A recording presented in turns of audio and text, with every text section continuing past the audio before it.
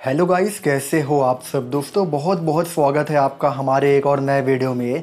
RCB ने दो matches में से अपना पहला मुकाबला जीत लिया है। पंजाब किंग्स को हरा करके आरसीबी ने दो अहम अंक हासिल कर लिए हैं। अब दोस्तों, अगला मैच जो है आरसीबी टीम को केकेआर के खिलाफ खेलना है। ऐसे में इस मैच में क्या बड़े चेंजेस हमें होते हुए दिखाई दे सकते हैं? कौन सा खिलाड़ी आएगा अंदर? कौन सा खिलाड़ी होने वाला है बाहर? इसको लेकर ही हमारी ये वीडियो होने वाली है। वहीं दोस्तों, आपके हिसाब से आपको क्या लगता है? क्या बदलाव करने चाहिए? तीसरे मैच के लिए आरसीबी टीम को नीचे हमें कमेंट्स करके ज़रूर बताइएगा। चैनल पर नए आए हो तो इसे आज से सब्सक्राइब करके बिल आइकन को भी दबाकर रख लीजिएगा ताकि ऐसे ही हर एक इंपॉर्टेंट अपडेट आपको आरसीबी टीम से जुड़ी लगातार मिलती रहे। वहीं दोस्तों ओनली आरसीबी के ही नाम से हमारा टेलीग्राम चैनल भी है। अगर यार उसे ज्वाइन नहीं किए हो तो डिस्क्रिप्शन बॉक्स में आपको लिंक मिल जाएगी। फटाफट जाओ लिंक पर क्लिक करो और ज्वाइन करके रख लो, क्योंकि वहीं पर आपको पूरे आईपीएल आरसीबी टीम की हर एक खबर सबसे पहले मिलेगी। तो देर मत करो, फटाफट ज्वाइन कर लो। चलिए वीडियो को शुरू करते हैं।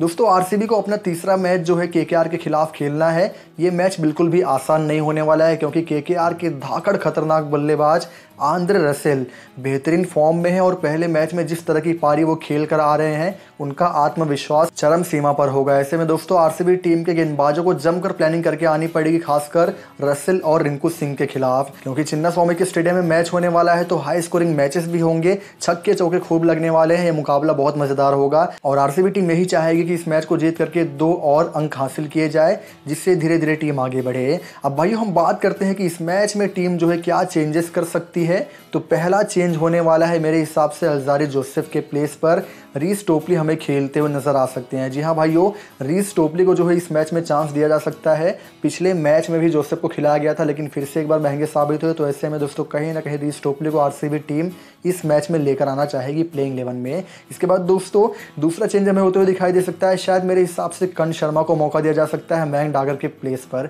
मैंग डागर ने पहले मुकाबले में अच्छी गेंदबाजी करी थी। दूसरे मैच में थोड़े से महँगे साबित हुए थे, ऐसे में दोस्तों तीसरे मैच के लिए आरसीबी टीम कन शर्मा को बैक करना चाहेगी, उन्हें as a wrist spinner team में लेकर आएगी। तो ये दो चेंजेस हैं जो मेरे हिसाब से अगले मुकाबले के लिए हो सकते हैं। आपके हिसाब से क्या होना चाहिए, हमें नीचे कमेंट्स करके बताइएगा ज़रूर। अभी के लिए इस वीडियो में इतना। अगर आपको वीडियो पसंद आई हो तो इसे लाइक और शेयर ज़रूर कीजिएगा। मिलते हैं अगले वीडियो में।